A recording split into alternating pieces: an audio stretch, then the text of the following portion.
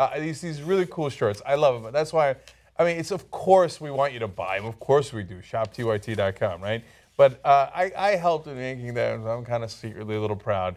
Uh, the election is coming. Uh, t-shirts uh, are. Clever. Uh, yeah, not bad, right? Can, can we get a Can we get that on the screen? Um, on ShopTYT.com. I like that. I like that shirt. See, in Game of Thrones style. What's on the back? Do you screw it up with something giant on the back? That would be like you.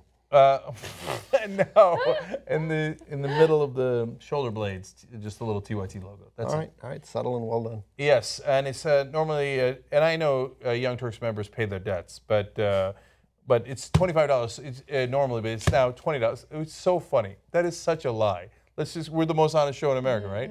When was it twenty five dollars? We It's a new just sh- it's a new we just released the shirt. It's, Do we good- typically sell our shirts? It's normally- Yes, that's what and this is. might be twenty-five dollars. We're giving you a. It's a way to get a shirt cheaper. Yeah, normally the shirts are twenty five dollars. Let's That's analyze why. the price a little more, please. Okay, all right. Anyway, shoptyt.com. Go get it because the election is coming.